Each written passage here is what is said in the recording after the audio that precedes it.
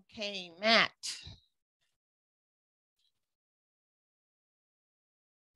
You are on mute if you're talking. Hello. Hello. All right. Um, can you make me a co-host? I'm getting ready to do that right now. Yes. And then also do not allow permit participants to unmute themselves. Let's uncheck that. Um, mute participants on entry, yes. Yes, okay. All right, the other thing is, which Luke, nobody asked, me if, nobody answered me as to whether or not it was okay to do this, but I'm totally doing it because it's the right thing to do, which is I'm gonna enable closed captioning. No, no, no. Oh yeah, you should, you should just always just do that. Yeah. Why, why is it not giving me the option to do it just automatically? I signed up for it to be automatic. Um, but it says assign someone to type or use a third-party CC service.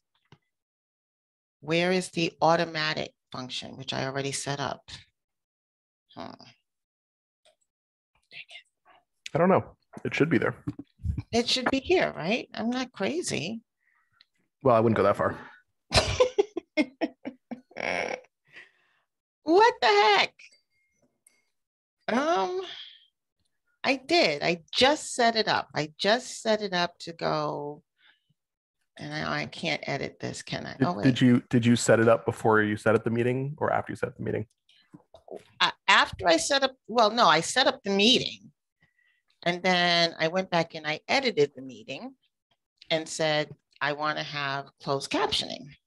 Oh, hmm, I don't know. Uh, I wonder. No, there's no option to do it here. No, I put, I had to put it on the account. It wasn't a thing that you could edit actually in the meeting, come to think of it.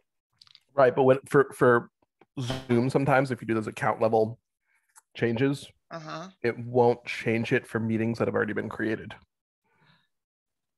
But it did though. That's what I'm saying. Like, we didn't used to have this closed captioning option at all.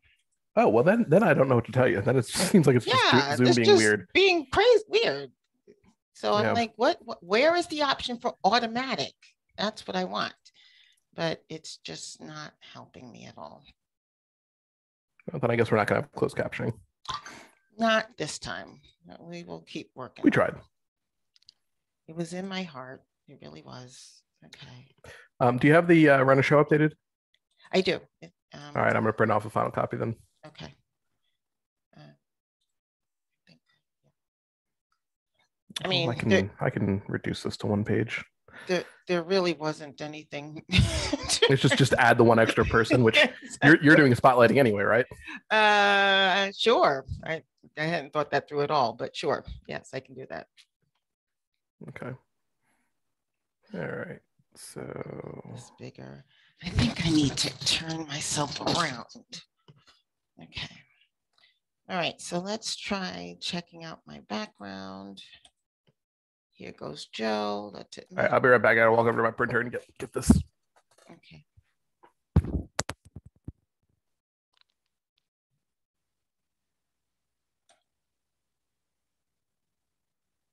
Welcome, Joe.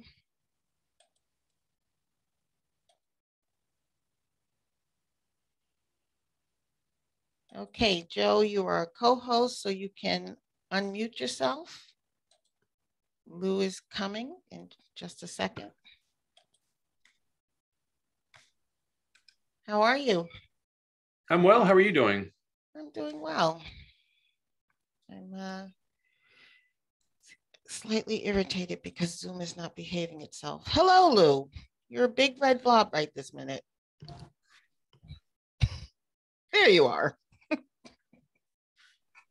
Hold on, hold on. I'm getting ready to make you a co-host. Okay, now you should be able to unmute yourself. Who who are you calling a big red blob? Joe, who's the hell you talking to? I presume she was talking to me. Okay.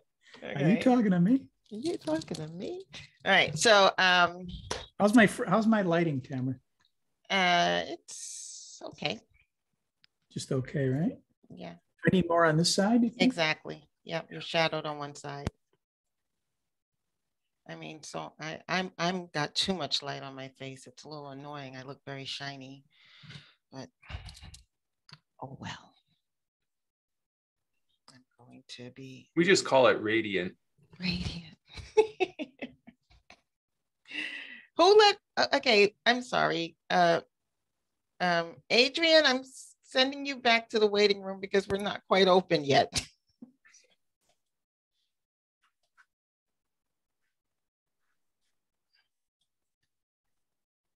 Okay, we're Huh? not letting people in, guys.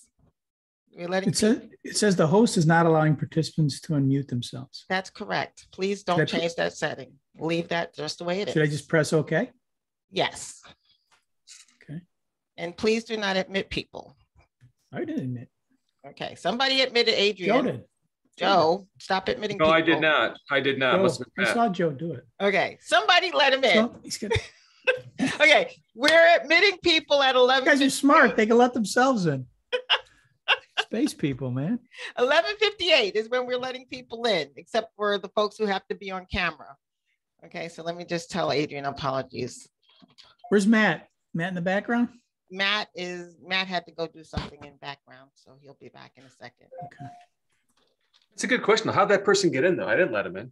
All right, Yeah, and neither. One of it's- us it is interesting. something. Well, I think you did it then. Let's let's let's blame everybody. what the hell's the difference? Hi, guys. Um, Tamara's the lighting a little better? Yes, it is. I'm all shadowy on one side because my, bleh. Oh, that's what happened, huh? okay. All right, so, um, so the new guy that you invited, uh, Joe, Brian? Yeah, so we, we, Lou and I discussed, it. I'm sorry, I thought I was meant to send you an email. I didn't, uh, I'm not sure if I did or not. Lou and I discussed it. We're gonna feature him in the Q and A part. Um, not as an actual panelist. Yes. So, okay. you guys mind if I do a quick sound check on this video here? Yes, please. Meanwhile, I'm admitting Will.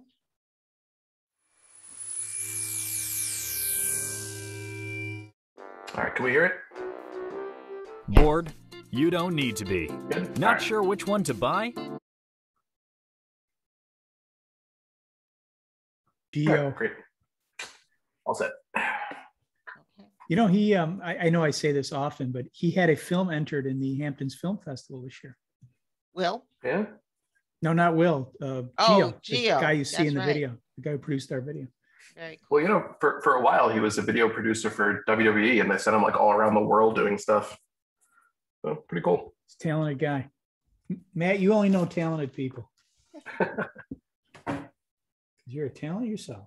Hello, Will. This is Tamara, and I just made you a co-host so that you have the ability to unmute yourself. You are not, your sound, however, is not yet connected.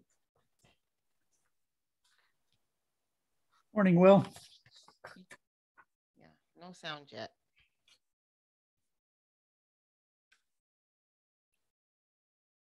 Here he comes. Okay, Will, you have the ability to unmute yourself because you are a co-host. And so welcome.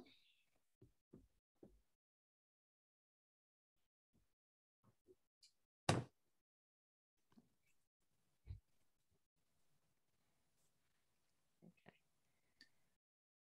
Uh, let me check my email, make sure nobody's trying to get in. Uh, Okay.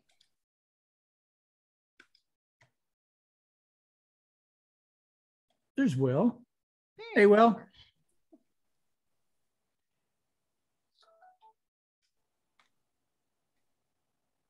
Hello. Good Hello. morning. Good There morning. How are Good you? morning. How are you? Excellent. No major complaints, Will. Good to see you. There's a lot of distance between no major complaints and excellent. Yes, it's uh, it's hopefully we'll get hopefully we'll get three downs to get there. nice. All right. No, no major complaints is when it's like, yeah, yeah, my I, my arthritis hurts my arm, but I'm not going to tell you. You know, okay, I'll take the middle ground. Oh, Yeah, I was Exactly. gonna say. I'm in between there, somewhere between. Okay, so you're at second down. Gotcha. Okay. Well, uh, let me introduce you to Joe Fargnoli. Joe's the founder of New York Space Alliance. Will Griffin is the chief ethics officer, of course, of Hypergiant. I don't think you guys know each other. Hello, No, Joe. Paul, very nice to meet you. Good to meet you. And Will, I think you know Tamara from our podcast. Yep. Hello. I don't think- bond well, I don't think we actually met. I think we exchanged emails, and so. Yeah, I First mean, I just remember seeing your name on it. Yeah. on the of emails. Hello. Yeah, so it's good to meet you. Actually, well, good to meet you virtually. How's that? Great. How is Yeah. where is everybody? I'm upstate New York-ish. think, You know, um, Will, I think you're in New York. Are you in New York? He, no, I'm in Austin. Austin. Austin, Texas. Okay, okay. So I'm from New York City. I'm from Brooklyn. Oh, okay. and so Brooklyn. basically, what part of Brooklyn? Flatbush. All right, I lived at 422 uh, Park Place at one point. Get out. Okay. Nope. The section, the section that I I lived think I knew that. lived, grew up in is now called Prospect Lefferts Gardens, right? Right. What used to be the D train, Prospect Yeah. Park Station stop, the, the Lincoln Yeah. Minute Road stop, actually. So, Yeah, no, I used to go to Prospect Park all the time. yeah, Uh, Brooklyn Public Library was my spot. exactly. I just took my Brooklyn Public Library background down.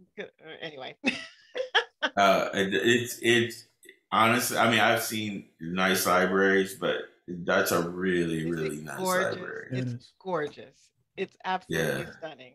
So, yeah. it's so- but I'm now upstate in Dutchess County, and um, oh, Dutchess County, yeah, ev- nice. everybody says that's not really upstate, but you Where know. Joe Well, I don't know, is- upstate, You're coming to. Rochester, New York, where I am. Oh yeah, no, you're you're upstate.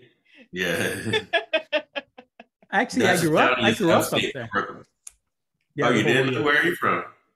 Originally from where Joe is in the Finger Lakes region, upstate New York.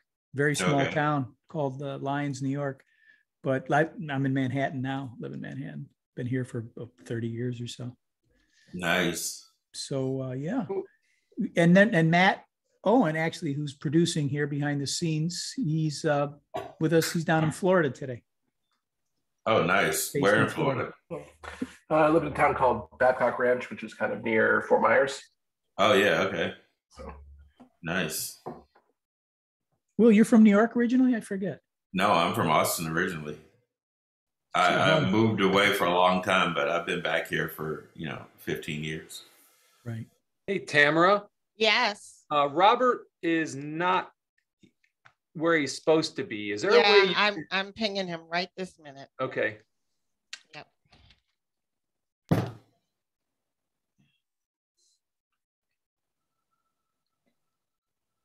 Lou, that was a very provocative title. Thank you. That these, these guys kind of fought me on it. We But I knew fought you'd him like it. tooth and nail. What? What do you mean unethical? What do you mean by this? Yeah. I knew Will would like it. Yeah, very, very provocative. Usually people start with ethics as an afterthought. And I like the title because it puts the burden of proof on everybody who's pro space to explain what they're doing. Exactly. Yeah. Um, we actually Right. tried to get John Markoff, who wrote the Machines of Loving Grace, Yeah. uh, to to do this, but you know, he said, you know, I, I wrote the book five or six years ago, and it's everything that I know is now sort of out of out of date. I would not have much to contribute on the ethics side of this, Oh, wow. which I said that's not true, but uh, he was insistent. Mr. Cardillo, you have just been made a co-host, so you can now unmute yourself whenever you want. Wow, look at all that power. Thank you very much. hey, Robert, Robert. it's Lou Zacharilla. Good to see you. Greetings. Joseph? Thanks for joining. You passed the first uh, ethics test of being able to distinguish uh, uh, Google Meet from Zoom. So sorry for the confusion I created there. No, no, this is, this is why we do this a few minutes early. All good. Exactly. Robert, we've got Will Griffin with us. I don't know if you two guys know each other. Will is uh, don't. with with Hypergiant down in Austin, Texas, and Robert Cardillo is with Planet Federal. Nice to meet you, Will. Hey, nice to meet you, Robert. Robert, where are you today? Uh, Alexandria, Virginia, just outside Nice. of DC. Yep, I know it well. I like I like that town too. Uh, my wife went to Georgetown, so we used to go into Alexandria. Yeah, I'm, a, I'm a grad as well. Alexandria's great. Got a nice oh, from. Georgetown? Uh, my master's is from Georgetown. Yeah. Nice. Yeah, no, we love Georgetown. It's, it's a small campus, but it's nice and um, it's a great walk to Georgetown. This is awesome. Yeah, you're a Hoya. And then what's that bridge? The Key Bridge? It is. Key Yeah. Bridge feeds right into the heart of Georgetown. Yeah. Yeah. Yeah, we used to walk across Key Bridge. They, there was a was there a mall over there? I don't know why we were going over there. Yeah, right at the corner of M and Wisconsin was. It's. I think it's still there. Oh well, yeah, well that's the George, yeah Georgetown Park Mall. Yeah, we used to go down there for sure. But I think when we cro- I don't know why we were crossing the bridge to go into. Um, it was Alexandria, right?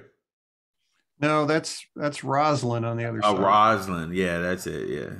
Okay, just very quickly, it is uh, eleven fifty-seven. Um, We're just now starting to see guests arriving. um, And you all have co-host abilities. So that means that you should be able to uh, mute and unmute as you need to. Um, We will be asking you to go uh, Matt, correct me if I'm wrong, but we want everybody to be off camera until we're ready to, uh, until it's time for you to speak. We will spotlight you when you come on camera. Um, I'm gonna pause. Matt, do we have, do they have to be off camera? Yeah, no, Matt, can, no, they can, no, they can leave the cameras on. They can Um, leave the 'cause we're- cameras on. Yeah, yeah, yeah. We're Okay. gonna we're going to spotlight them when it's time. Um, when when it's a segment that you're in, if it's during the panel discussion, something like that, please leave the camera on the whole time. In fact, because um, we might you know occasionally show a shot of you know everyone on the panel at the same time to get reaction shots and things like that. So you know during the actual panel discussion portion of this, treat this as though you were sitting on a stage.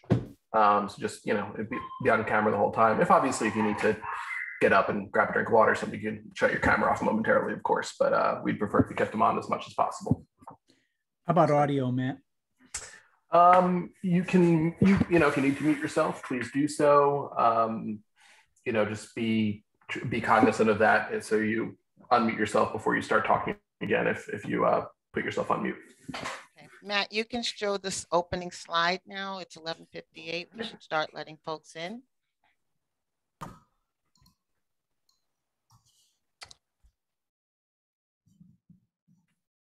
Okay.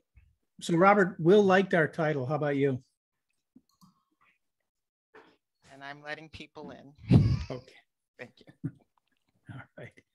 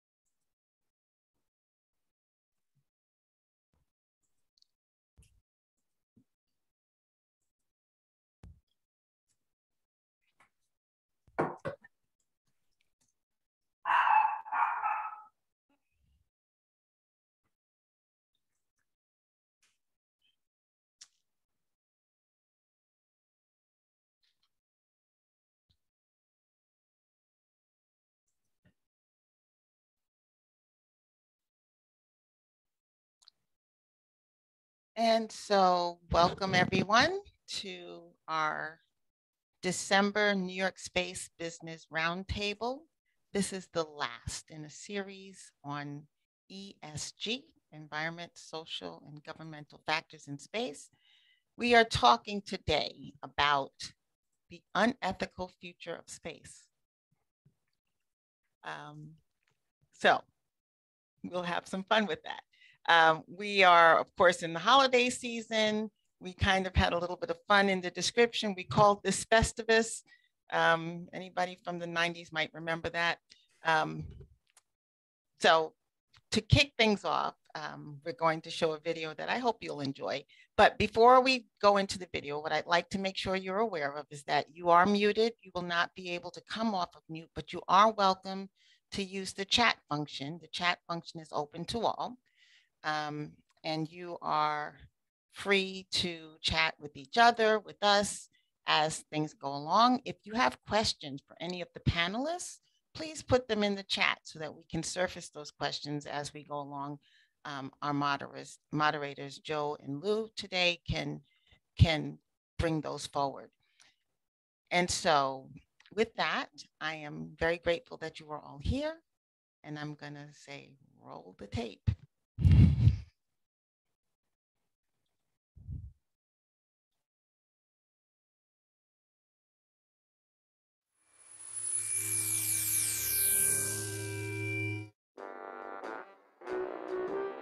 Bored? You don't need to be. Not sure which one to buy? Be sure. Wonder if that person is the right one for you? Stop wondering. Introducing Mindsat. It knows what you want, it knows who you want, and it helps you have it all. Faster and easier than you ever imagined. I didn't know I needed a new purse, but Mindsat did. Mindsat is a network of mind reading satellites orbiting the Earth. They scan your brain, read your thoughts, and monitor your moods and desires. Then, Mindsat's advanced algorithms tell you exactly what to do. I almost ordered the kale salad, but Mindsat steered me towards the ham and cheese. Thanks, Mindsat. No more worrying about making the wrong choice. No more uncertainty. And boredom, it's a thing of the past. Mindsat told me he could never make me happy. Thanks, Mindsat. Installation is quick and easy. Our trained installers simply insert the Mindsat chip into your brain. Wait a minute. Satellites do a lot for you.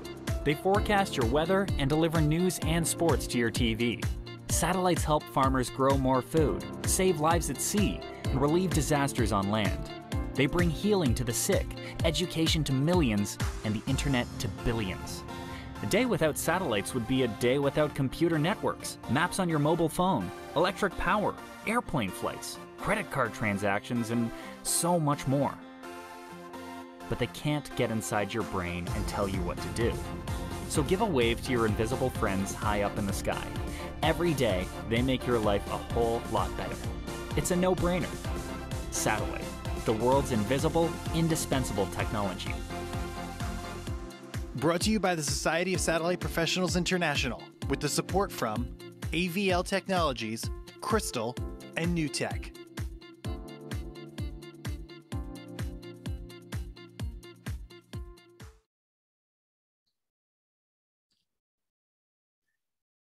I thought they could get inside my brain. I'm very disappointed to see that. Well, boredom hopefully is a thing of the past. Uh, hello, everyone. Uh, my dad used to say about a local business owner we knew his heart would be in the right place if he knew where the right place was. Uh, well, in a Pew Research study on ethics, uh, those who thought leaders of tech companies do not sufficiently take responsibility for mistakes were far less likely to judge other aspects of their business positively than those who think they did take responsibility at least some of the time. Now, that same dynamic in that study applied when the issue is whether these leaders cared about people like you or handle resources responsibly or provide fair and accurate information to the public by 42% to 88%. These are not surprising insights, uh, and these not surprising insights had little to do with whether these companies could say create a new flat panel antenna or autonomous vehicle that not only would not hit a single person if it swerved on a crowded street here in Manhattan, it would never be in a situation where it had to actually swerve on the street. They have a lot to do with the belief one of our speakers today uses to guide its business, which is ethics equals trust. Trust equals economic value creation. Trust. In 2011, China's one child policy, which was certainly questionable ethically, since it favored the birth of males, had yielded a nation where a record 22 million men, 22 million guys were seeking uh, women uh, and were without them. A concerned government has since modified the policy, perhaps figuring that too much testosterone in a place where tech has driven down the need for human labor was not necessarily producing 25 uh, year old monks, uh, more talented women, or space and satellite industry entrepreneurs. So ethical questions surround us constantly. They are the human land upon which our devices, for now at least, cannot tread. The space and satellite community is not new to this discussion, despite what many may think. Uh, since Norbert Wiener, way back in 1950, wrote The Human Use of Human Beings, the topic of ethics has been at our table. So let's talk. Hello, everyone. It's the third Wednesday of the month, and we are back at the New York Space Business Roundtable. Thanks for joining us. I'm Lou Zacharilla of SSPI. We welcome you and especially our SSPI members and chapters around the world. Well, today we're going to finish the year with a topic that is in the back of our minds, but central to the thinking and the work product of our guests today. And that, of course, is ethics. Before we go over to the roundtable, I would like to thank the sponsor of this series this year, Luxembourg Trade and Investment in New York. And uh, Joe and I would like to give a special thanks to Mr. Franz Fayot, the Minister of the Economy for Humanitarian Affairs, who was in New York last week and kindly hosted us for a wonderful dinner where we discussed this and other industry stuff. Um, we'd like to also shout out our media partner this year, uh, Space News Magazine. There it is. It's the awards issue. And senior editor Jason Rainbow for his work uh, on the series this year. This roundtable is also supported by World Teleport Association, the only nonprofit trade association on Earth for the uplink and ground segment teleport operators, and also the Washington Space Roundtable and New Space New York. Well, Joe, today the E in ESG stands for ethics. So here we go. I'd like to welcome my colleague in this monthly journey, the founder of the New York Space Alliance, Mr. Joe Fargnoli, who will introduce our guests. What do you thanks, say, Lou. Joe? Yeah, thanks. Great topic today. Um, you know, the, the New York Space Business Roundtable is really um, targeting, looking at the hard questions that we need to face to really advance the space community. So today we want to look specifically at the ethics of AI and space and ask the question of whether AI is enabling human capacity or replacing it. And how much does this really matter when we're going to a place that's different, dangerous, and vast as space? So we want to look at how artificial intelligence can be designed to help individuals contribute meaningfully to their communities and to society at large. We recognize that in the current digital economy, AI-driven software is often designed to incentivize individuals to become consumers of online content and passive recipients of goods and services. Against this backdrop, we want to look at what conditions must AI fulfill in order to allow people to conceptualize themselves as active protagonists of positive change.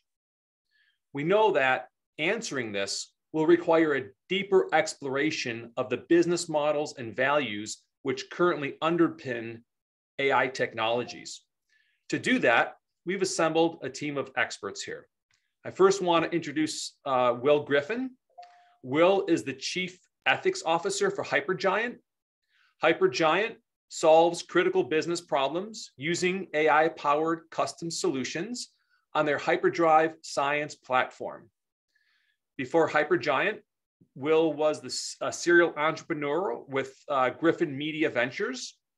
He also worked with eUniverse Networks and News Corp before that, was an associate at McKinsey, and got his law degree from a little school up in Boston called the Harvard Law School.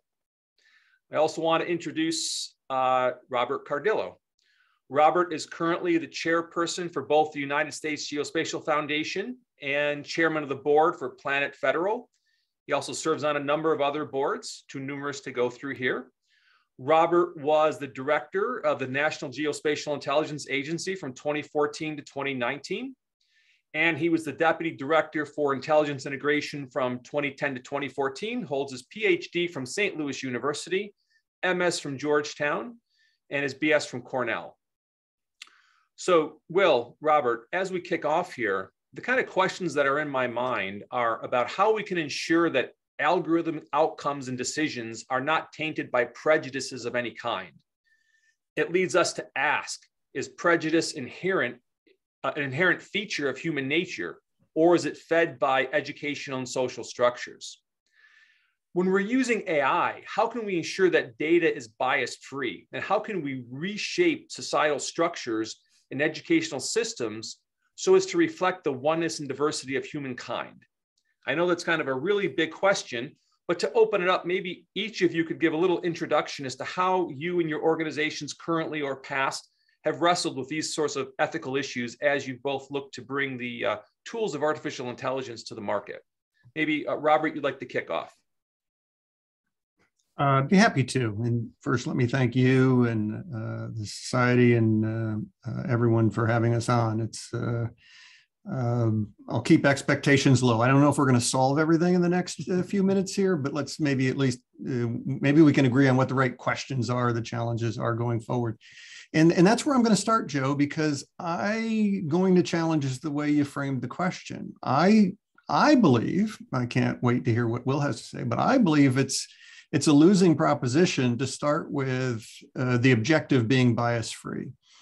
I come I come from a point of view that everything, including my vocalization of my thoughts right now, contains bias.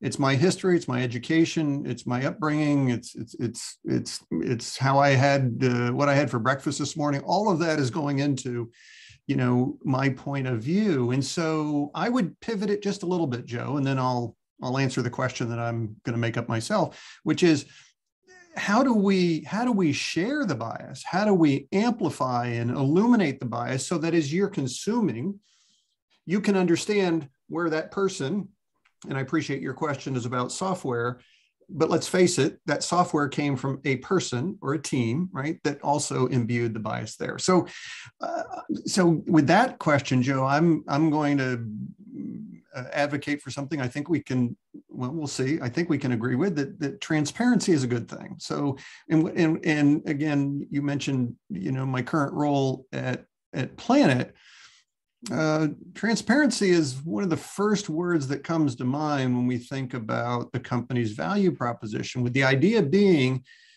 the more transparent, the better. Meaning, if, if we can have shared views, and that doesn't mean shared understanding. It certainly doesn't mean shared agreement. But if we can at least share the view, we can advance the conversation to the point where we could find out, well, where do we agree and where do we disagree? And so, um, uh, illumination, uh, transparency, visibility helps us move up uh, the complexity of whatever the you know the debate is about. And and so I guess back, I'll, I'll, finish with this thought, you know, with respect to the software, Joe, and, and by the way, you're not talking to a software engineer. I don't know how to do what I'm about to say, but the, the whole, I, you know, the, to the extent that we can get out of the black box, you know, with things coming in the left side and whatever analytics or insights or, or some sort of conclusions coming out the right side, I think is unhealthy.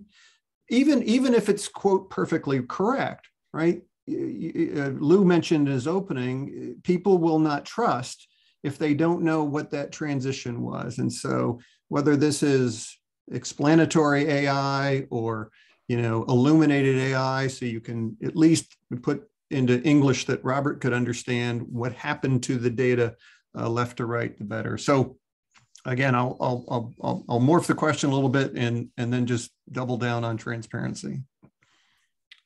Thanks, Robert. Will, what's your take on it? So uh, I'm also not an engineer, although I work with them every day, and I try as best I can to tell them more or less what to do. So I'm sure they would all say I pretend that I'm an engineer or I, I act like I know what I'm talking about. Uh, but what I am is a human being. Uh, and I started when I was in college, I studied anthropology and economics, um, which, at least the way it was taught when I was an undergrad, have a lot to do with each other. And I think, especially as we start talking about space or we start talking about AI, uh, and I just want to say a little quick thing about our company so you can see where I'm coming from with these questions. You know, we deal with critical infrastructure, space, and defense. Those are our three main categories. Now, we do have entertainment clients and and, and other other businesses, but those are really our three focuses: defense, critical infrastructure, and space. Um, these questions for us while our clients and our use cases are very practical and technical, usually the things that we're working on, because they touch so many people, a lot of these questions are really existential, which is what are we trying to accomplish with this technology? Uh, and usually, in my role, really in the company, is to make sure that we keep ethics at the heart of it. And ethics, as we look at it, is what are our duties to other human beings. Uh, and I always harken back to, you know, really kind of my anthropological training, but also the way I look at the world, which is, is this good for people, bad for people? Why, why not? That's really kind of at the core of our questions. And that's the core of ethics. If people are not involved, then ethics aren't implicated because ethics really are about our obligations to other people. If we're working on projects where people aren't involved, um, then we're probably not at the scale or trying to have the impact that we want to have. Uh, so when you ask these questions about biases or uh, are they inherent, uh, what happens with the technology? I kind of harken back to why did we create civilization in the first place uh, in the Mesopotamia region? Reason why is is for survival. Uh, we were a nomadic people. You know, before that, humanity was essentially a nomadic people. Uh, once population began to grow, uh, the competition for resources was too great, and humans evolved to realize that cooperation was better than competition because it was necessary for survival. Once those first civilizations began in the Mesopotamia region, they came to an agreement. I usually call uh, several agreements, but I usually call these agreements a social compact.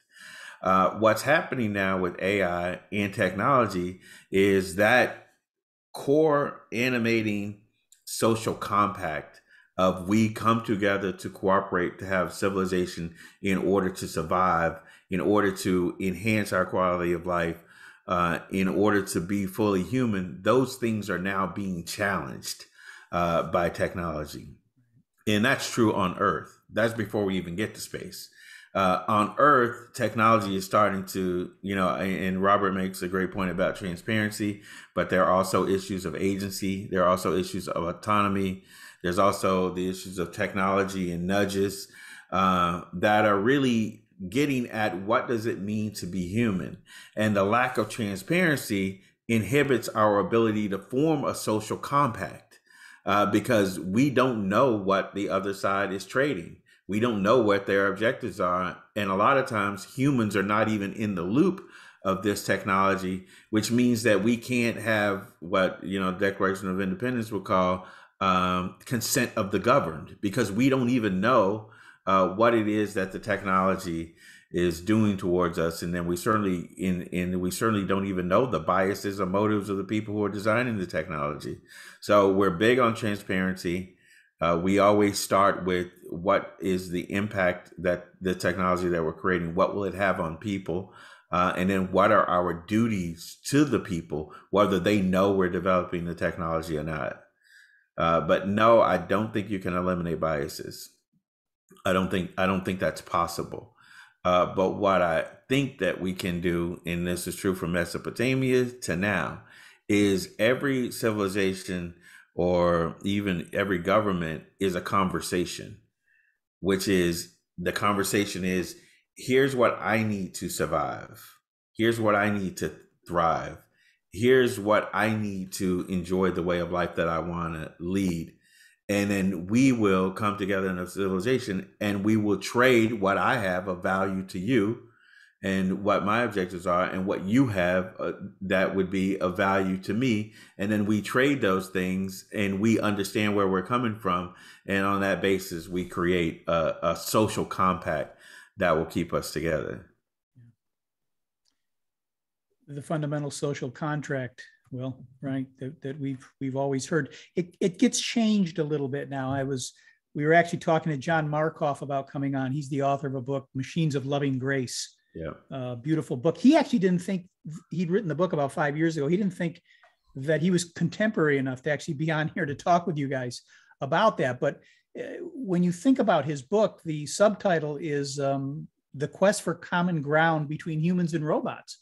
So he's talking about a social contract between the software or the machine or whatever you want to, however we want to define it, and us as the humans. So that is certainly paradigm shifting uh, at, at, a significant degree.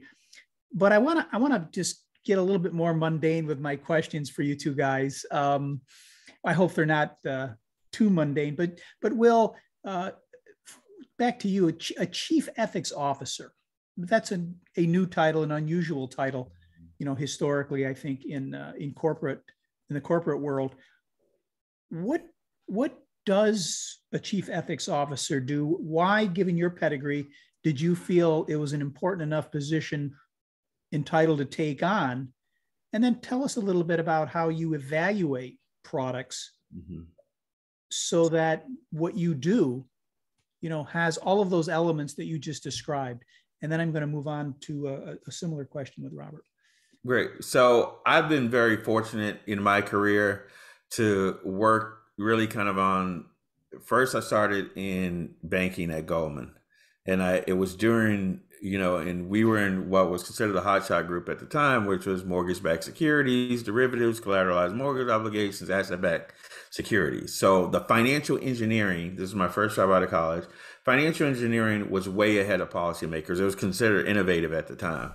Uh, now, as we all know, in retrospect, you know, 20 years after we started that group, it essentially blew up the global economy in 2008 because policymakers didn't know what we were doing. Um, so and then from there i went into entrepreneurship and then the way i got the hypergiant and i've been fortunate to have two very good ceos here the first was our founder uh, ben lamm and ben is a serial entrepreneur and this was like his fifth company and now he's already on his sixth company but ben ben was like hey come join us in some capacity and we've been talking for years and I hadn't done any. I never worked. You know, I went to law school, but I never even worked in compliance, honestly. You know, but Ben said, "What do you think about ethics?" And I was like, "Well, I'm for them. You know, obviously, you know, I try to live my life in a in a, in a way with right. integrity, and I value relationships. But you know, then I started to look into it. So then I went to places, you know, like the Harvard Berkman Center, who has the principled AI, the principled AI initiative. I went out to Stanford AI Lab. Cental Center for Business Ethics at Xavier and, and studied up. And what I realized is that ethics really will be the defining point between tech and public policy. And that is what will mediate what I call this new social compact. Uh, and then we have a new CEO now, Mike Betzer, who's been very supportive of our work. And Mike also is a serial entrepreneur, has been very successful. Uh, and he thinks, and you know, and I agree with him that this is going to be a differentiator for our company because ultimately uh, it will make our solutions more robust. So it's one thing to be innovative, and then three years later, you blow up something like we did with mortgage-backed securities, and then now that innovation is lost. I think we saw that last year with facial recognition when during the George Floyd protests, when law enforcement used facial recognition to track protesters, and the blowback was so great that IBM essentially got out of the facial recognition business. And there were computer engineers there who studied computer vision for 15 and 20 years. They were really an innovator in the space, but it blew up to the point where it wasn't worth it for them. And you saw Amazon and you saw uh, Microsoft with their moratoriums. Uh, so what Ben wanted and Mike continues to want at our company is to make sure the things that we create, especially because they're at scale and they touch so many people, that they don't blow up uh, one, because we have a duty to society, but two, it's bad for business. I mean, I think Lee, you, I mean, Lee, you put the construct up, which is that ethics um, ethics ultimately leads equals trust and it's the trust that leads to the economic value creation Right. so our philosophy goes like this is basically three main principles and it's based on Immanuel kant's deontological principles uh, the reason why uh, we chose this approach is because it's about us and our duties to humanity irrespective of what the other players or our competitors are doing in the space so the step one, and we analyze each use case based on this. Step one is, is there goodwill?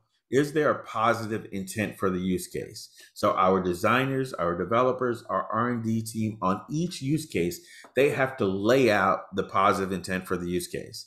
The second step is the categorical imperative, which is the maxim, which says that if every company in our industry, every industry in the world used AI in the way that we are contemplating, what would the world look like and would that world be desirable? What that does for us is it requires us not to just look at our client or our partner uh, as our constituency, but it requires us to think about the people who are touched by the technology. It requires us to think, in many cases, all of humanity as our constituency. That's what the maxim does. And then the third step is the law of humanity. Are people being used as a means to an end in this use case, or are people the primary beneficiary of this technology in this use case? That's the designers and developers. They all know in our company how to do this. The second step is we take this what we consider to be some of the smartest contrarians in our company, and usually they're not involved or working on this project or use case.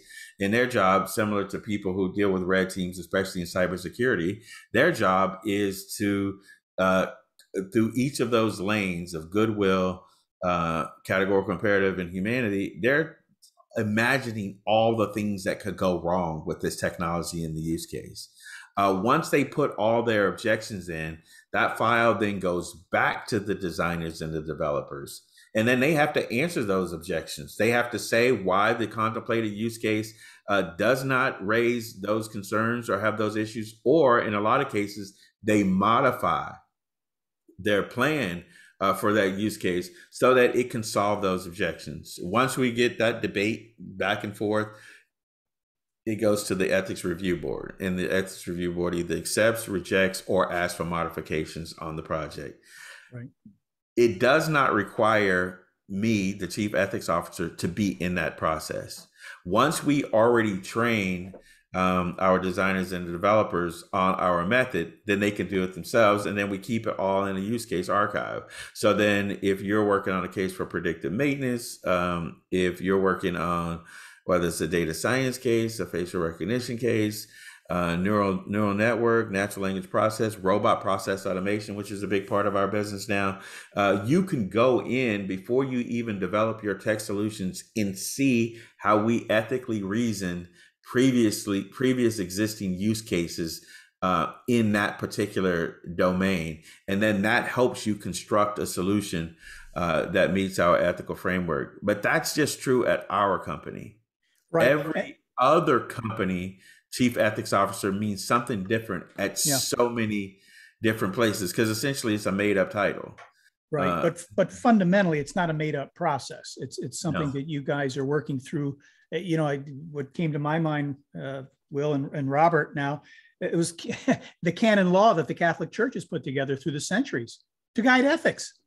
I mean, it's it's it's a similar thing in terms of structure. Everybody knows now, you know, what they need to do when they're in uh, Hypergiant's case when they're creating these incredibly powerful and sophisticated uh, AI and related products.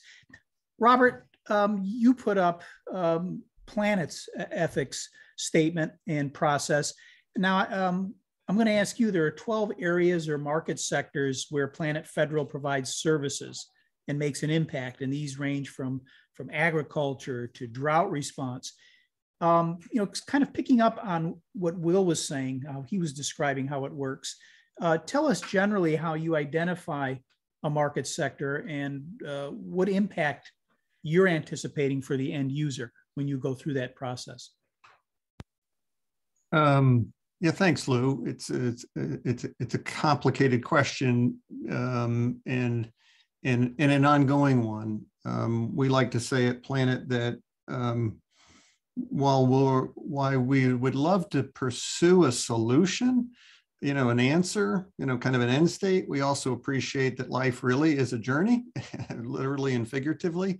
And and so is so is this subject, right? I mean, as soon as we as soon as we're quote sure, right, about our next step and and what's the implication, we're we're surprised. So uh, so I'll give you a dynamic case that I'm dealing with now. Um, um, Planet, you know, uh, is now a 10 year old company. It's actually a one week old company as a publicly traded company because it was listed last week on the New York Stock mm, Exchange. Congratulations. But uh, well, thank you. I, I take little credit since I'm a very new new member, but uh, but yes, the team uh, the team should be celebrated. But but there the ethos, you know, as we'll discussed, that that formed the company to begin with was to try to share a view of our planet in a way that that led to good.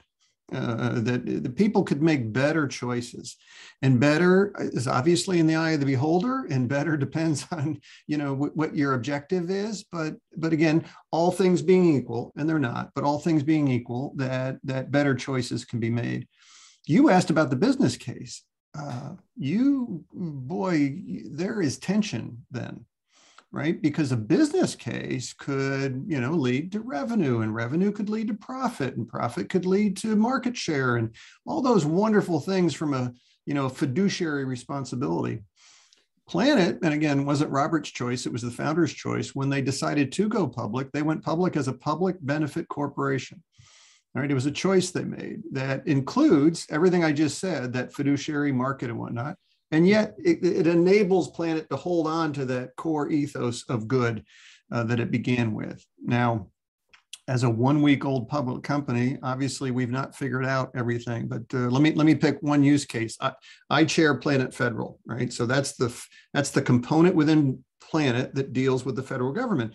And there's probably not a whole lot of controversy out of our contracts with departments of agriculture around the world oh you want to increase uh, food yield. You want to have healthier and more sustainable agricultural you know practices.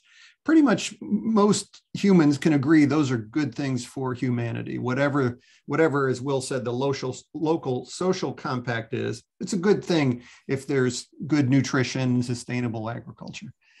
There's another department in governments. They're called ministries of defense right? And and uh, as a matter of fact uh, our our department of defense used to have a different name it was called the Department of War at one point. So we all know that defense has two sides to the coin. Planet has contracts with ministries of defense and, and the Department of Defense. And Planet's now a 700 plus person company with an active ethics committee. Uh, we don't have a chief ethics officer. We have a chief impact officer, officer Andrew Zolli. Andrew is your counterpart. Will uh, at Planet, you you guys, if you don't know one another, I'd, I'd love to introduce you because you, will have a lot to chat about. But but back to your question, Lou, uh, we wrestle with the reality of boy, that's boy, that's a good revenue opportunity there with that uh, Defense Department or ministry over there, and yet wait a minute, what could they do with that image, right? That might not comport with our our humanitarian and and goodness views. And uh, I just want to quote what I think is an immortal lyric from the uh, songwriter and singer Ani DiFranco. She finished one song with the line, uh, "Every tool is a weapon if you hold it right." You know, whether you think of that as a shovel or a matchstick or whatnot. Well, obviously, in, in Planet's case, it's the image and can the image be used to secure and to protect and defend? Absolutely. Can it be misused, right? To do the opposite, of course. So, you know, Lou, that, that was a non-answer because I there, there isn't an answer to the, you know, how do there's no equation to figure out, you know, that's a market we're going to go for. You've got a set of principles that you you debate and you decide, and you evolve those over time. You apply them in each use case and oh, by the way, as soon as you sign that contract, right, you begin to, to monitor, right? You you begin to learn and apply that learning going forward. So, right. um, but the intentions, know, I, I, guess, Robert, the, both you and Will would say, even even though you approach it differently, the intentions are always in the right direction. It's a question then of breaking down the the ethical uh, notions to see to see where you come out um, in the end. Yeah, of course. And, and yeah, yeah, absolutely. And, and again, as I said earlier in my response to Joe, I, I think at least this member of Planet is comfortable with the fact that we're not always going to land on the same, you know, outcome or decision space. Uh, what I like to say at Planet is, I want people uh, to, to, to, to participate in the debate and the discussion, to, to ensure that we have a process that their voice is heard. Now, it, you know, Planet it, as a company is going to land on a decision, and it may not comport with you know all those voices, and it probably won't but I think we're I think we're healthy if the voices that say didn't end up, you know, in in the decision space where the company landed, they don't leave, they stay. Meaning, look, I, I don't agree with the outcome, but I but I'm but I trust the process. There's that word again. And if mm-hmm. and if you can have that, you can you I think you can continually grow because I think it's through that kind of shared experience and the shared perspectives that lead to at least an improvement of the path that Will described earlier from Mesopotamia on. That, by the way, we're going to hand like a baton to our successors, you know, when they when they step into these roles. Yeah, very good. The nun who taught me, Sister Mary Pauline, used to say they call religion a practice because we never get it right. Um, Joe, over to you. Yeah, so I just want to build on something Will said about the, the financial engineering efforts that went on. Um, I'm sure no one said, hey, let's develop instruments that are going to take down the global economy. That was never the thought. The thought was, how do we create new instruments that could be profitable and hopefully create some good? Um, so I want to talk about sort of the unintended consequences that occur when we deal with very potent technologies specifically relevant to space, we're talking about this spooky ability for commercial companies to now have global access, not just to imagery, to collection across the uh, electromagnetic spectrum and other phenomenologies. That is an awesome amount of new data that is also extremely timely and relevant.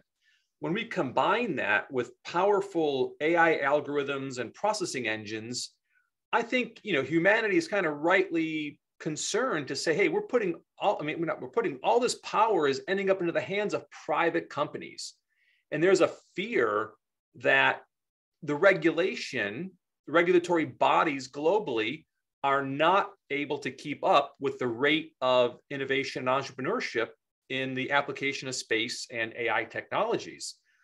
Um, you know, unfortunately, regulators usually are trying to catch up with these advanced technologies and make sure that you know no one is harmed and only good is done and again i don't think that planet or hypergiant are out to do anything but good but unintended consequences do occur so i think my question is how do you address the public to acknowledge the responsibility that you have as a, as a, a, newer um, company that has a lot of potential power in your hands. How do we create an environment where there can be not only a self-regulation by each company, but also maybe an agreement as to a set of ethical standards that that the commercial community itself can bring forward as opposed to waiting for things to go wrong? Hopefully they won't but waiting for things to potentially go wrong and then having government regulators have to come in how do we manage our own you know pickup game here so to speak before having things go to the point where we need outside regulation? It's a big question, but I think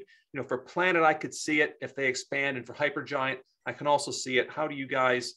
How, how would you guys make the general population comfortable, the investment community comfortable that this is not a party that's going to end at some point necessarily in a, in a bad way?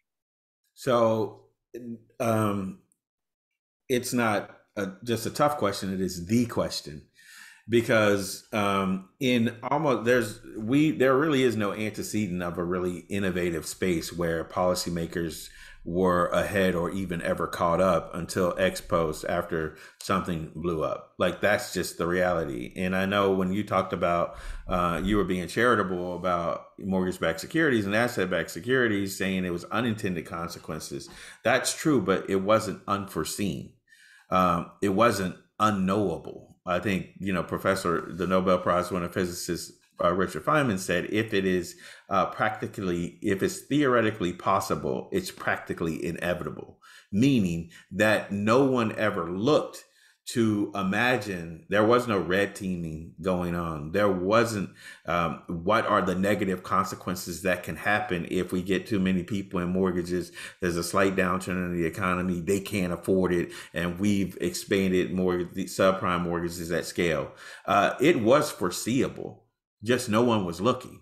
Uh, it never was part of the process for us to examine what could go wrong because everybody was focused on what could go right. So you can see how that applies to AI. You can see how that applies to space. You can see how that applies to innovation. So because policymakers are going to be behind, then that relies on self governance essentially for companies and self governance for industries. Very difficult to pull off uh, for all of the reasons I think that Robert kind of alluded to, which is there's profit there are profit goals there are revenue goals there are uh, for designers and developers there are creative goals there are innovation goals there are ambition. Uh, you know if we look right now into the prime prime movers in space and at least this is what we see from our vantage point because we do a lot of work with dod with space force. Here are the prime movers. There's china there's russia there's us uh, and that's military then there are the commercial actors. So what the general public hears about is they hear about Elon Musk, they hear about Jeff Bezos, uh, they hear about people going to space, $18 million for a ride to space. Bezos has the idea that he got from his professor O'Neill about space colonies, which would be these idyllic environments in space. So you can imagine everybody on Earth looking up and saying, well, so what's going to happen to us when you hop into space? Uh, and then we're in the face of uh, unimaginable ambition. So if you can imagine, and a lot of analogies are always drawn with space exploration and the early explorers. Um, you know, there's a resource rationale for going there. There are all these benefits that are supposedly to come to the old world, which is Earth, from what we can discover in the new world, uh, which is space. And I'm troubled by that rationale because you now it used to be that King Ferdinand and Queen Isabella funded Christopher Columbus to go discover the new world in search of resources, essentially. Uh, now, fast forward, Elon Musk is King Ferdinand, Queen Isabella, and Christopher Columbus all in one. That's that's the level of the ambition of an Elon Musk or a Bezos today. Like now they're trying to combine themselves into that those all of those entities who uh, led to exploration before into one person and there's never been a public statement that said um, here are the ethics that we want to take into space. Here are the values that we want to take into space so that we can look back at earth and make it a better place.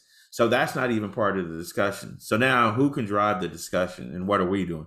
Because you know we're we're a small company. Uh, Federal's a little bigger than us, but in the grand scheme of things, still a growing, you know, emerging, you know, enterprise. But our clients and our partners are prime movers. Uh, and one of the things that we always try to do, at least when we talk to our clients, is the vetting that we, ethical vetting that we do, that's a self governance construct.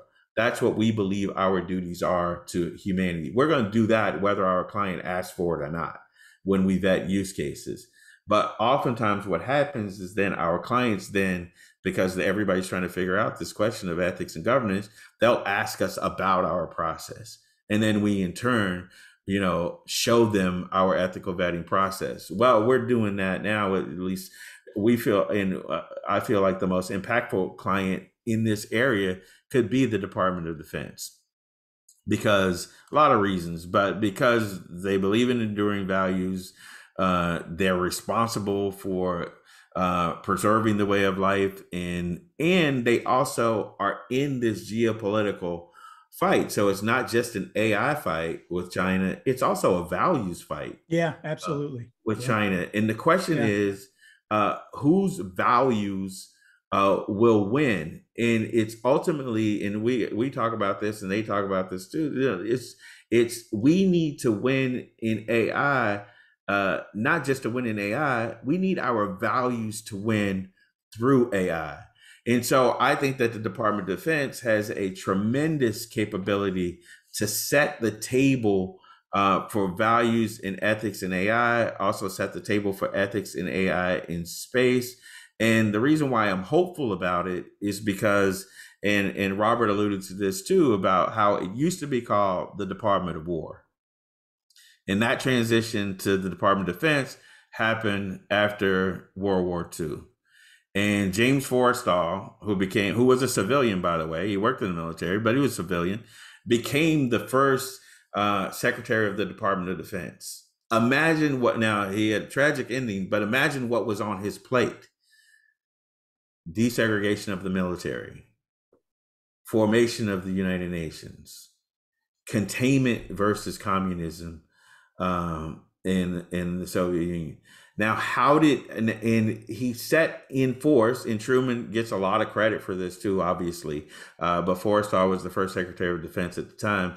He set in motion a set of values that said that we have to live up to the creed of our founding documents in the way that we organize the Department of Defense in order for us to be successful against the Soviet Union. And ultimately took 50 years, as to Robert's point, this is not overnight you know, in, in the founders in their own vision set us on this course of a more perfect union. That sets a standard that says we never get to finality, but it's also a more perfect union. Lou alludes to Catholicism and Christianity. Our goal is to be more in this, not to turn people off, but ultimately, if we're talking theology, it's to be more like Christ, not to be Christ. Like we're not going to be perfect. Same with uh, our founding documents. It's a more perfect union. We won't have a perfect or idyllic society, but it's our values that will allow us to win, even in innovative spaces. I would I would argue, and I, I argue this every day, obviously for a living, that innovation it gives us a more of an opportunity to show off our values and deepen our values because it shows that our values are enduring. They're not um, they're they're they're never outdated. Freedom's never outdated uh, autonomy is never outdated. Ethics in in kindness and and and fair trade never these principles are never outdated. In each innovation allows us to demonstrate that, but we have to keep it at the top of the mind because unintended consequences to me says you never considered ethics because now, now it's all foreseeable. Yeah, that, that's beautiful. And I actually shouted there. I thought my mic was on mute when I was agreeing with you. Um, but but with Joe's question was, how do you keep government out of it? And and and the riff was, I think, just mm, spot on. Well, but it's not that we want to keep government out, Lou. I think it's but, how do we not necessitate that, right? How do we create civic level management of these right. issues so that we can and we don't have meltdowns. We can self-contain as a community. I'm not against the government. It's just that how can we make sure that we're taking care of um, you know the issues appropriately. Right, and I and I think the the answers that we got, Joe, were it's it's ultimately a values question. It comes back to a values question. Um, and and by the way, uh, you know uh, Ferdinand and Isabella had values too. I mean, I'm going to go back to, the, to Catholicism again. They were exporting a religion, a faith that they thought should be predominant because it it was intending to liberate people. So I think we have to be careful there when, when we self govern to also be self aware of that. I couldn't agree more, though, Robert, that what we are trying to do uh, as an industry, and, and I think I'm paraphrasing Will, is to also carry forward the values of, of democracy, of freedom, which lead to innovation, which, which naturally unveil themselves ethically and, and are, we believe, you know, for the long term does that matter if now publicly traded Planet has a bad quarter?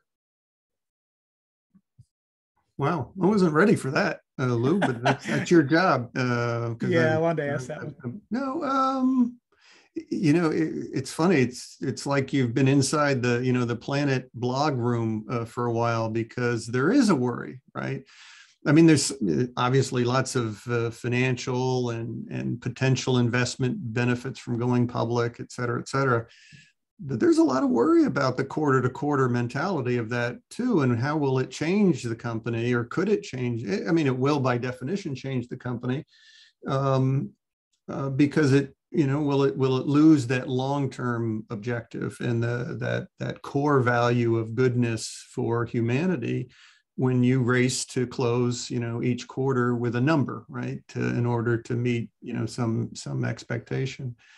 So I I think it, I mean we're a week we're a week into this, Lou. Maybe I should come back to your broadcast, uh, you know, in a year or two, and you're always welcome. We should we should that. check in.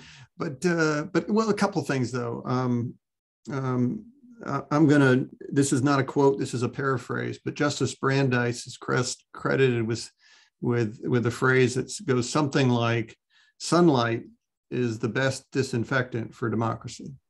Lowercase, right? Meaning meaning the more that that that that the people that are part of that social compact that Will described, the more that they know, and and even better that they share that understanding, the better.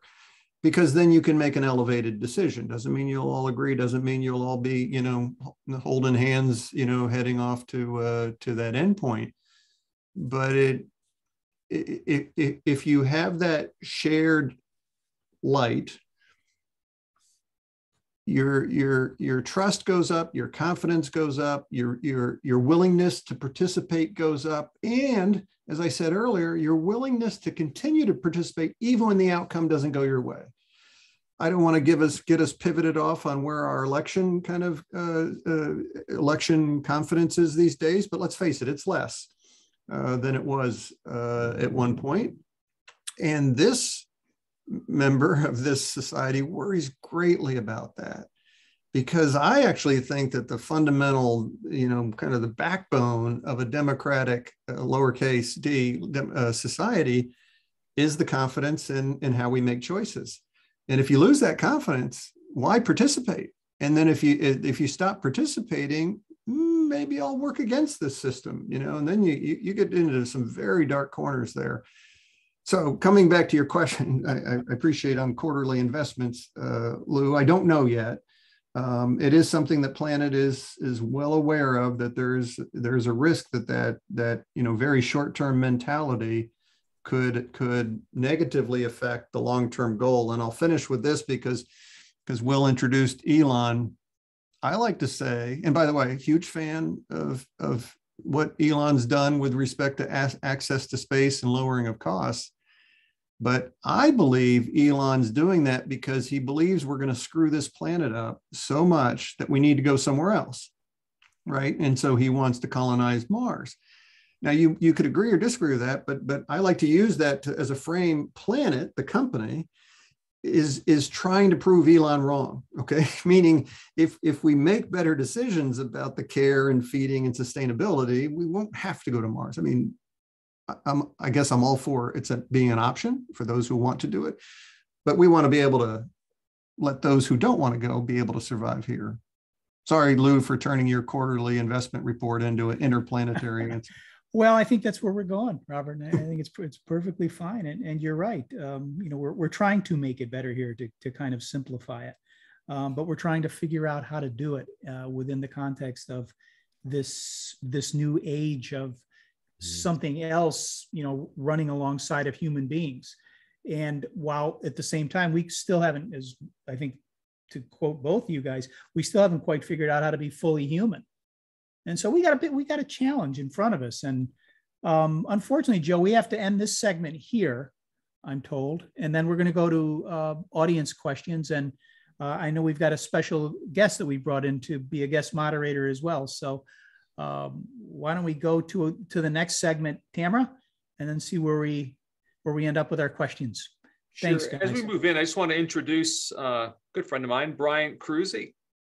Brian is a, a uh, futurist, a philosopher, an engineer, an entrepreneur, and he's been doing pioneering work in artificial intelligence applications for more than three decades. I can go through his long resume, but uh, Brian should be a great addition to our uh, Q&A session. Welcome, Brian.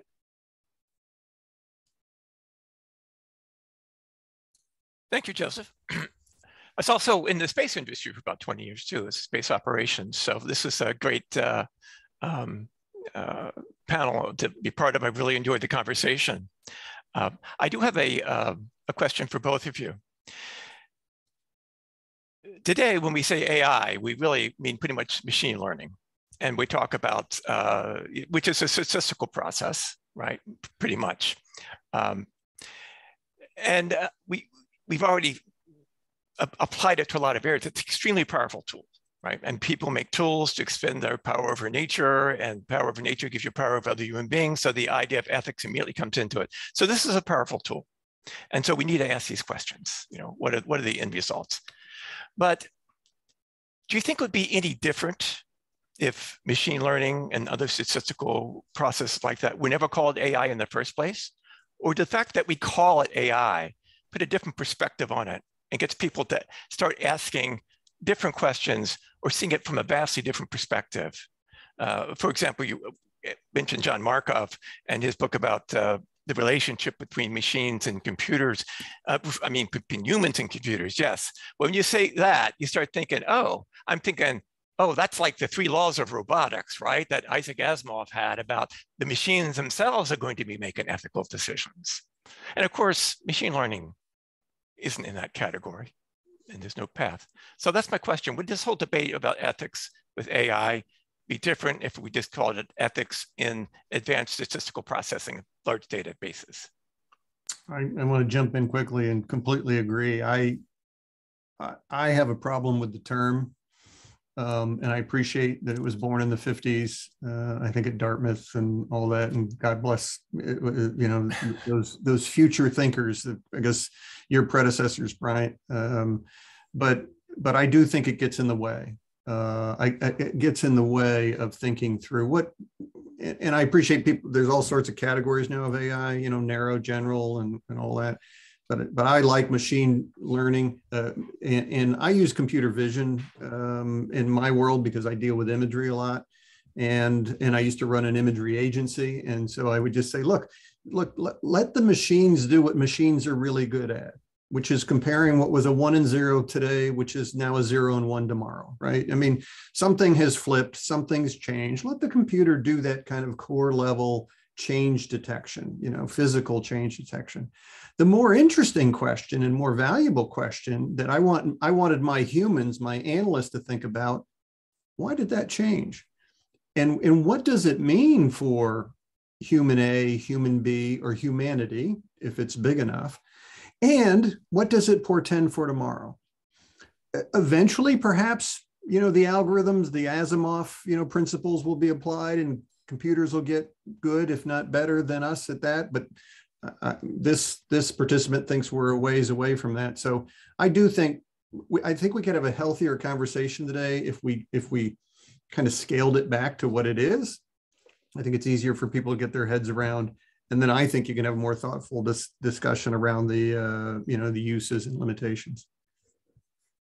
Will you want to? I think AI is a is a catch-all marketing term. So obviously at that Dartmouth conference with John McCarthy and his colleagues, they essentially basically just came up with a catch-all term to because when we're in our company, like I'm sure this is true with Robert, when we're working on use cases, we don't say AI. We talk about the use case itself, robot process automation, predictive maintenance, like whatever the use case is about, that's what we talk about. And then the AI are just you know, the quote unquote AI are just a tapestry of techniques and tools um, that we use to try to solve the problems that are presented by that use case. So I agree with you. I think it's a catch-all public marketing term. Now, where the rubber meets the road is the general public or the governed, who in our society we want consent from. They don't think about it at all until something blows up. So they don't think about uh, privacy or being in the cloud until there's a data breach and their credit cards everywhere. Uh, as the case in, in the UK, they don't really think about you know scanning their eyes or finger fingerprints until the biometric data um, is compromised. Uh, this will also be true. It's just like with nuclear weapons. We don't really we didn't we don't we didn't we didn't know existed when the first bombs were dropped, and we really don't think about it until uh, something happens or we're on the brink of a war. Uh, and when I grew up, we used to do nuclear war drills where you ran under the desk. Like we would have actual, everybody remembers that. You'd have actual drills for that. And then you would think about it, but you don't interact with it. That's why I think it's important for professionals who work in this industry the, is to ensure that the governed they don't have to think about and keep uh, say abreast of these issues. I always make the nuclear weapon analogy. Why have we not? Why has there not been another uh, nuclear weapon dropped? Because the effects were so devastating that it created a uh, a moral response from scientists, a regulatory response from um, governments, and an awareness of the potential for mutually assured destruction. Yeah, we continue to innovate on nuclear weapons and continue to innovate on nuclear technology, but we realize how devastating it is, which brings me to my final point why I worry about space uh, and Elon Musk, because the first country that figures out how to get enough of the citizens that they want into space, it actually takes away a, a lever of mutually assured destruction. Because if I know that I can jetpack millions of my citizens uh, off of Earth, then that mutually assured destruction element goes away. Uh, because now I know that the people who I want to survive can't survive, which is the reason why we always all and, and this is why we always push, especially in in the DoD context and the military and geopolitical context, we always we always push um, the idea that we have to win with our values, so that the governed, ours within our society, plus, and, uh, and many of you probably remember the Cold War, the non-aligned movement, those others who are not our geopolitical competition also decide I would rather live under these values uh, than live under other values. And then that continues to create the worldwide movement towards democracy and freedom. Those are inextricably linked. And I think when we go to space, as we go to space, as we compete into space, we have to take uh, the values there. It's, it's, it's crucial. Yeah. Uh, Brian, I want you to respond to that, that last part. Um, the unethical, that's the unethical use of space that we're talking about. I think uh, Will has defined it. Um, Joe, before we do that though, we're going to put up a slide. Oh, now I think, and we're going to tell everybody who's, because I know a lot of people have to leave it around one, uh, what's coming up uh, for the roundtable, and then we're going to go back to some questions that we've been getting here.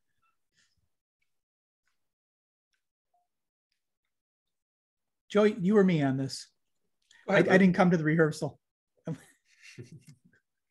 me do it? Yeah. Please. Okay. Well, um, every third Wednesday of the month, uh, Joe and I will, uh, New York Space Alliance and SSPI will be bringing you these kinds of conversations. And uh, if you like this one, uh, hopefully you'll like the ones we've got planned for you next year. Just to look ahead at the first quarter, um, we've got, um, we're going to start talking about the climate. So we'll have one on um, satellites boosting sustainable technologies on January 19th. And then SPAC Crackle Pop, we're calling it on February 16th. We're going to be talking about SPAC fed space companies and the disaster that they may portend or not. And then on the 16th of March, we'll be talking about um, space financing. Um, and you can see uh, where we're going to be going with that one. So that's what the first quarter looks like. Uh, you know, we'd love to have you continue to join us. And uh, for those um, in the audience uh, who are interested on Friday at 10:30 Eastern Time, the December meeting of SSP WISE, that's our Women in Space Engineering Group, special interest group, uh, will take place. Um, if you are a woman in the industry and have not attended a WISE meeting but would like to, uh, SSPI would really like to welcome you to that. Uh, and you can learn more at sspi.org backslash events. And uh, Tamara Bond Williams, our membership director, who's with us today, can also tell you more. And that's been uh, the fastest growing uh, group uh, of SSPI, faster growing than even our chapters in India and Canada and those places. So we're pleased with that. Joe, anything else to add before we go back to the questions? No, just we, we look forward to you guys joining us for this first quarter series. Again, we're trying to really tackle some hard hitting issues here looking specifically at how we can get objective data from satellites on addressing this climate issue, reducing the, the error bars through looking at what satellite technology is over the horizon that should help us address this issue. in February. We're not trying to burst the bubble here, but we think that there's really some data that we need to look at relative to the use of SPACs in promoting the space industry. And then in March, we really want to host uh, striving space entrepreneurs who are looking at ways of getting space financing. So the purpose of the roundtable is really to kind of ask these hard questions, make this a safe space, and uh, hopefully help this community to self-regulate itself towards a more sustainable and beneficial future. So we'd rather ask the hard questions here than on the other side of, uh, you know, a cataclysmic event. Yeah, well said. Um, we just want to finish up some of the questions that we have. Um, you know, Will, you got you got everybody's attention um, with the reference to moving people out to space, which could uh, eliminate mutually assured destruction notions which have kept us from having a, an Armageddon uh, since, um, since the first atomic bombs were dropped. Um, and I wanted to just get um, Brian's reaction to that. I think that um, that the social impact of humanity moving into space is, I, I agree with you, Will, it's totally huge.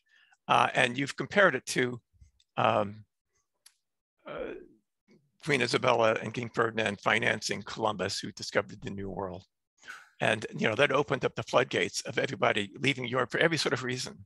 Mm -hmm. Okay, and I guess you one con- you had several concerns. So one is well, in one case, is it better for the government to open those floodgates, a government, or for a single individual? Because a single individual, you don't know what you don't know what they're about really. So that they may or may not have be be public spirited. But in the end, the question is not so much opening the floodgates. I think Elon Musk is opening the door. He's building the railroad to orbit, right? And everybody, once it's there, you know, will probably be able to use it unless he says, no, is this only going to be for me and my projects. And then the other question is, okay, so he puts people on Mars. Is he going to control what they do? Or, or again, or is he just opening up the door and let them go?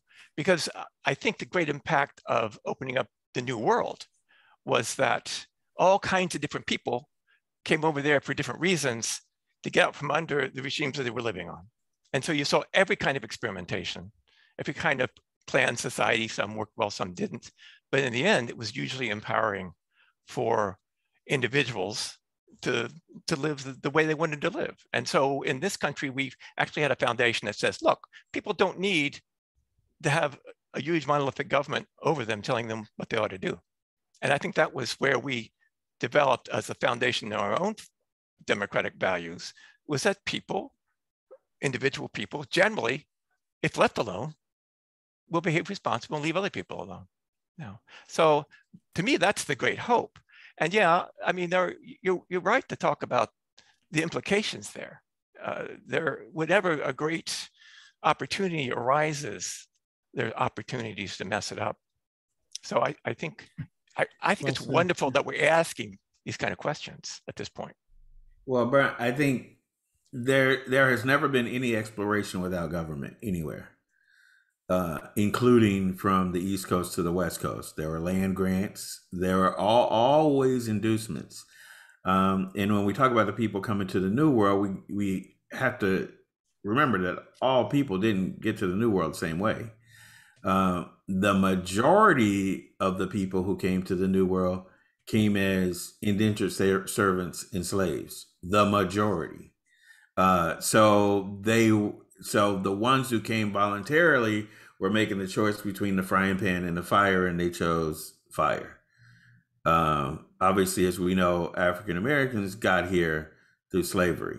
The, it, the overwhelming majority of people who came with explorers came as servants. There's no question about that. Now, there in the late 18th century, in late 19th century, early 20th century, there became a different class of immigrants who came kind of along the narrative that you outlined, which is like somewhat more voluntary, like looking after opportunity for opportunity. But before the 20th century, the majority of people who came here were indentured servants or slaves and that was not just here everywhere in the world That's true for people who left India going east, who left, I mean, left Europe going east, who left Europe going south, who left Europe coming to the Western world. They were they were indentured servants or slaves. Um, and but they all were sanctioned by the government. Nobody, they, nobody just hopped on a hopped on a boat and said, "Let's see what's going on over here." Like that that wasn't happening before uh, the early 20th century. When it comes to space, remember, Elon Musk only functions uh, because he has the blessing of the United States government. If the United States, that's why they can go to space. If the United States decided we don't want people to go to space, then that's the end of it you know, Jeff Bezos won't go to space, Elon Musk won't go to space. So there'll be some government who opens up an exploration route uh, to go to Mars. And in a lot of cases, and this is what we have to be mindful of. And in I'm pro SpaceX, we we put four CubeSats into space to the I you know to the ISS through. Uh, we we jumped on um, through SpaceX. That's how we got our CubeSats up there to the ISS.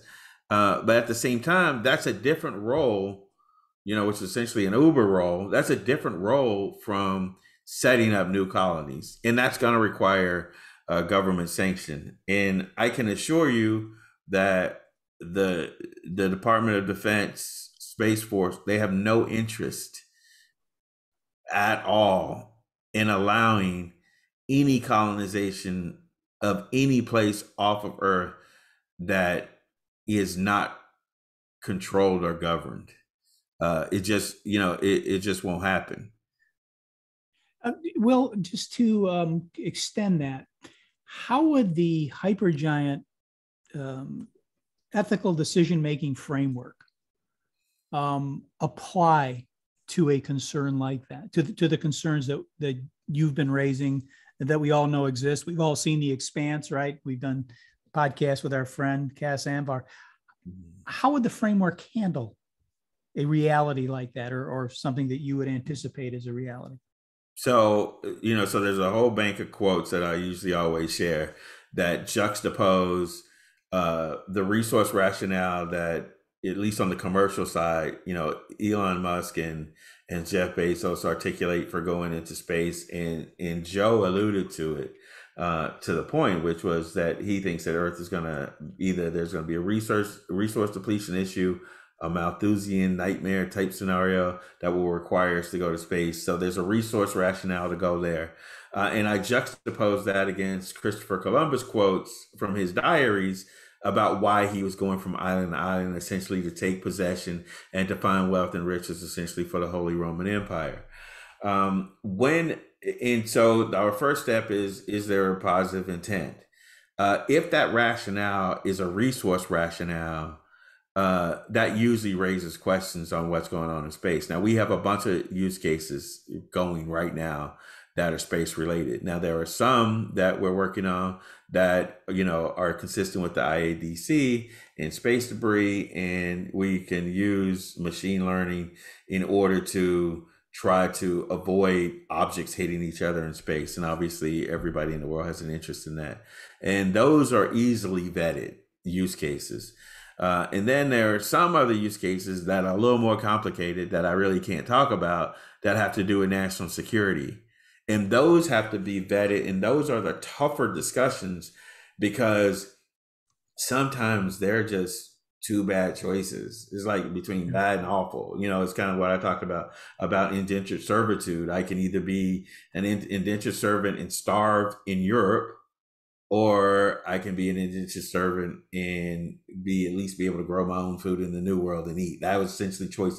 Well, anyway, sometimes in a national security context, we are dealing with two very, you know, bad and worse, you know, situations. And those are really tough to vet but then they then we get back to that's when that's when we have to really fall on our enduring values so when survival is at stake the question is it's either us or them you know and especially in a, a lot of space and brian you know this too like most of space is defense most of what we're worried about in space it's not the communication satellites which we do worry about it's not commercial Uh, it's not whether you get your text messages fast or if you can transmit video. That's not most of what we're worried about. What we're really worried about is China's BeiDou navigation system and companies signing up for an alternative to GPS where now they have control over time and space on Earth. Like those are the versus our GPS system that we want everyone to stay on. Like those are the questions that we really battle. So our use cases start asking these questions, you know, how do we ensure that we can use our values to win these geopolitical fights um, with emerging technology? So when in doubt, always refer back to the core values. well, for, in our case, for a lot of our customers, it always Yeah. goes back to the Constitution. Yeah, and then in some cases, um, in in some cases, you know, we will elevate to UN Declaration of Human Rights, the Geneva Convention. Sometimes those things are implicated. It's sometimes all the way back to the Magna Carta. But yeah, it, it's it's really to hold on to those values because everybody on this call, and I think Lou alluded to it, we're gonna we're gonna be gone. Like you know, I mean, there's some younger people on the call, but you know, we're we're on the other half of everything. It's now what are we leaving our kids? Now, our parents didn't leave us technology. That wasn't their legacy for us. Uh, their legacy for us was, you know, our relationships, our values, uh, and w- because the technology that they would have left us is already outdated. Uh, we can't leave today's technology. That's not really what we're leaving to our our kids of future generations. What we're leaving to is when we were faced with hard questions. Here's how we use our enduring values to answer those questions, and we always kept our relationships with each other in mind and the way they'll appreciate it is we always kept you in mind and you can go back to the constitution and the constitution talks about us today in, in the documents. They were all forward looking obviously if if what you know frederick douglass had a great speech at one point. He said what to the slave is the fourth of july. Obviously that document didn't mean as much to slaves at that time. Didn't mean as much to women at that time. But the values were enduring they handed that down. So it's the same today like we have to hold on to the values even for the people that we're not doing a good job of of pulling under that ambit of those values. Right. because as we move towards a more perfect union as we go into the future they'll have that and then they can build on that and and hopefully they can make a better civilization than we've been able to make today Exactly. Yeah. And and you you you took the phrase I was going to say, the more perfect union, the aspirational aspect of it. Bryant had alluded to it as well. yeah have to brian keep- made have great to- points about it we have to keep going there. Uh, the other side of it is, you know, Doug Larson's line: instead of giving a politician the keys to the city, just change the locks. That'll take care of it. We don't want to go there, uh, Joe. Um, unfortunately, we're at the end here. Joe, I'm going to turn it back over to you, and then uh, we'll hand it over to Tamara to, to take us off away from the table. I want to thank you, Will, for really a great presentation, really getting down to the root of these issues of core human values, which is really what it all boils down to. And thank you, Brian, for leading some uh, some Q and A. I- I do want to uh, just maybe open it up for one moment for the floor and see if there's anyone on the call who would like to get in a, a quick uh, question before we do wrap up, just to make sure everyone has a chance to speak here. Uh, Tamara, did we have any questions? I saw a few. I want to thank Robert Cardillo, by the way. He had to leave. Um, we- we told him one o'clock, but uh, it was a great conversation when he was here. Um, no, the, the only questions were, were mine and I've, I've heard some, some, some of the answers in the, in the ensuing conversation. So I don't want to hold this in. Of course, I had a specific question for Robert, but he's not here to answer it. So, Okay, no, no more pressing ones or? ah, let's see. Well, um, okay, I'll ask this one pressing question. It's just, I always ask it because I think it's important to keep asking and to keep raising it as a concern. And that is how, how do we build in representative voices into decision-making processes? And so, um, of course, Will, um, I enjoy listening to you in terms of your um, erudition, your first uh, first principles approach, um, and and the the knowledge base that you bring that crosses um, barriers that um, sometimes are forgotten. But it's a, it's a, always a question for me, right? How do we make sure that we are having enough voices in the decision making process um, so that we don't we, we catch our blind spots and so i'll throw that out to you as an ethics officer what what is the process uh, what process do you employ and i'm presaging this to say that and shortly thereafter i'm kicking everybody out of no i'm, I'm going to close the room so it's a quick answer well it's a, a grind as well if you want to so the first thing, uh, and this alludes to what Joseph's first question was, which was about biases. I'm an institutionalist as a bias. Like I believe in the power of strong institutions. Uh, I'm not a big government person. Like you know, I don't mean that in a political way. I mean that just in a human organization way. Like I believe in strong um, institutions. Uh, so uh, does that make me pro government? I don't know, but there needs to be government it, because in any in government in the form of a representative democracy. And so the way we do that in our model is the step two of the process, which is the categorical imperative, which is to say that if every everybody in our company, every company in our industry, every industry in the world use technology in this way, what would the world look like? So that requires us to view the entire world as our constituency. And that includes um, what people call sensitive categories are underrepresented. If the whole world is your constituency, then you need to hear all of those voices, or in the form of a uh, or the form of a government that can represent all of those voices. Uh, and so that's how we do it in step two with the categorical imperative. Brian, do you want to add to that before we? Um... Oh, uh, yeah, I could throw a, I could throw a little spin on that. I'm going to interpret your question, Tamara, as though this issue of bias, and particularly when you're talking about AI today and machine learning, which is what we started out with. The problem with machine learning today, it's basically statistics, right? It's all about statistics, stochastic processing, and you can learn a lot from statistics. But statistics aren't the only way you learn about things. That's not the only kind of knowledge. So in that sense, anything with machine learning is already biased toward a statistical approach to solving a problem. Solves a lot of problems, totally useless on other problems. For instance, the individual gets lost because you know statistics is the bell curve, but where are the exceptional individuals? Who make really come in and you know make a huge difference because of their unique perspectives. Machine learning is going to filter them right out, whether it's in hiring, giving loans, or anything else. Exceptional people get get ironed out. So what we need is a kind of AI. Should, should we evolve to that that actually can uh, uh, be based on the human perspective and be able to understand that the human perspective is both collective and diverse and be able to handle that. So that's the kind of technology we need to work for. That, that is a great way to wrap this up. I think so. Thank you very much, Brian. It gives us plenty of homework to work on and new platforms to develop. Well, Joe, I think we reinforced. Adrian did have a question. I don't know if it's too late for him or her. Yeah, I think we're gonna have to take oh. that one offline. Um, but uh, I think we reinforced the social contract. I think we moved the ball forward a little bit, uh, but it we came at it from the human heart, and um, this is a discussion we're going to have to continue to have. So special thanks to you guys, Will and Bryant, for making the time. Uh, Robert, will thank him as well. It's, it's always great to hear from you.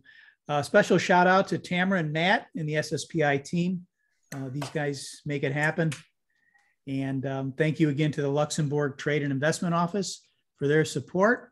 And uh, of course, thanks to my colleague, uh, Joe. Uh, on behalf of SSPI, the New York Space Alliance, and our supporters, uh, best wishes for a joyful and healthy holiday season. And we'll see you next year. Remember, make it a better satellite world whenever you can. Take care, Joe. Hey, thanks, Lou. Hey, we're going to stay on a little bit, and maybe if uh, Adrian, you do want to ask that question, go right ahead. We'll uh, we'll take it, but we'll let everyone kind of move on to the next meetings and lunch. Sounds good.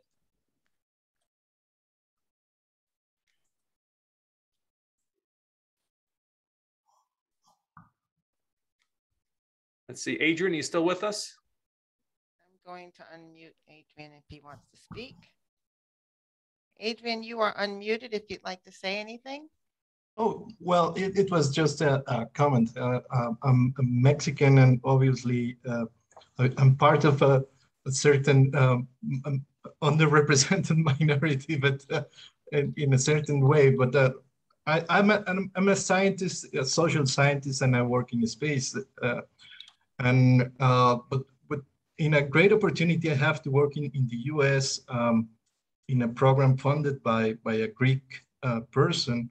Uh, we have to, to study the, the roots of democracy and education in a certain way. So uh, I, I, was uh, I was in thinking in this um, uh, uh, triangle or, or, or root uh, basics of, of democracy, which is the logos, the pathos, and the ethos. Know? So the, the ethos was well uh, treated here, the logos as, as an engineer, of course, uh, but and the pathos is, is it's an important scenario. I mean, I don't want artificial intelligence to go mad or things like that. And we also have to consider that uh, that people needs to stay mentally healthy when traveling in space, you know. And uh, well, all these are case scenarios that we have to to review. I, I work for the Mexican Space Agency, so um, I work with people so as well. Uh, but but at the same time, it's it's part of, of the scenario that we're discussing here. I mean, I, I, I did physics and artificial intelligence as my bachelor's, so uh, I just wanted like to, to to consider it because we can have these two opposite sides of the norm of the curve of the statistical uh, uh path that Bryant actually uh, mentioned. It. So just wanted to make that, that comment and, and I really appreciate and enjoy very very much this conversation. It was very unexpected, but uh, well, I work with satellites, I work with people, I work with uh, space, and I work with science. So it's, uh, it's a, it's a, it was a very good and richful discussion. Thank you. Thank you. Thank you, everyone. Have a happy holiday. God bless. Thank you all. And thank you, Adrian, for joining for half a second and sharing your perspective. And the meeting is going to close in just a couple of seconds. Fair warning because Zoom is super abrupt.